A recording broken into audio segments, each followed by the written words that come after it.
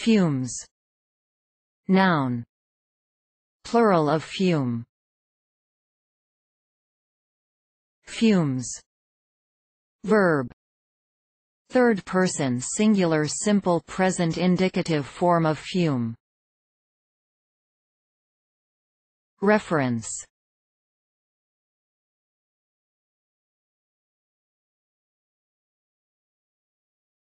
Please support us with your subscription